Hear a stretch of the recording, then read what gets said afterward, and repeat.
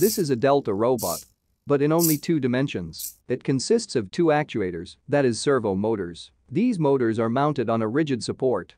There are four free moving links. Those are then attached to the motor. The joint between those links is the point that will trace the pattern required. The brain of this system is ATmega 328P microcontroller from Atmel. This IC is mounted on Arduino Uno R3 prototyping board. Both the motors can move from 0 to 180 degrees, which is more than enough to operate this robot. Each of the links seen here is of 6 centimeters. And so the distance between the motors. Let's check its extremities. Left. Top. Right. Bottom. Left. Top. Right.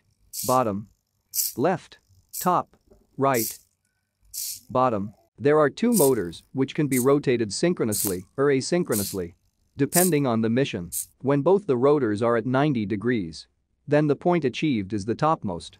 When both the rotors are at 45 degrees, then the extreme right point is achieved.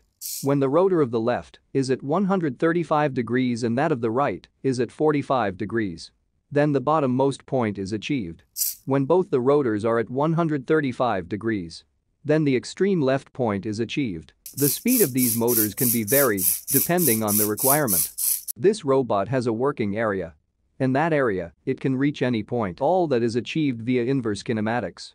Just provide the coordinates of the point and the angle corresponding to each motor will get calculated.